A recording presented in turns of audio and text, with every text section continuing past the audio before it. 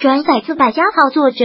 篮球大数据，NBA 球星很多，但获得总冠军的球星很少，并不是每个球员都像詹姆斯、杜兰特、库里这样幸运。很多明星球员整个职业生涯都无法得到总冠军。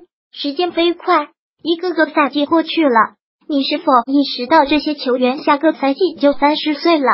哈登最近两个赛季的表现绝对是联盟第一档次的球星，但是他还没有带领火箭站在总决赛的舞台上。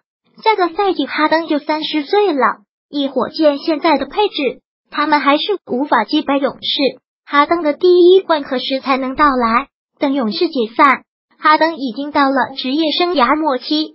火箭还有一名后卫戈登也是三十岁，他与哈登的命运相同。戈登的合同到二零二零年夏天才到期。威少乔治下个赛季也三十岁了，未来几年这两个人是雷霆双子星。威少和杜兰特一起合作了八个赛季，都未能拿到总冠军。乔治与杜兰特还是要差一个级别，所以对于雷霆来说非常困难。我们知道威少的打法一直备受质疑，他只有带领雷霆夺冠才能打破质疑。还有三个全明星后卫，下个赛季也是三十岁，分别是德罗赞、肯巴沃克、巴特勒。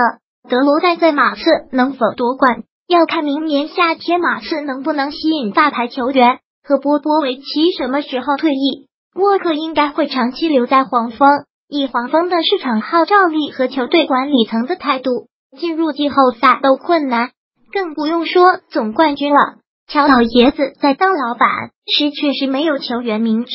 巴特勒明年夏天就要成为自由球员，如果他选择抱团，就有希望拿到总冠军。还有一名非常可惜的球员格里芬，作为壮从未证明自己。拿到大合同后，频繁更换女友。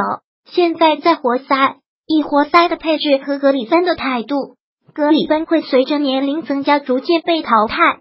这些球员主要是两种情况：一种是球队没有竞争力，二是球队有竞争力，但是无奈又勇士。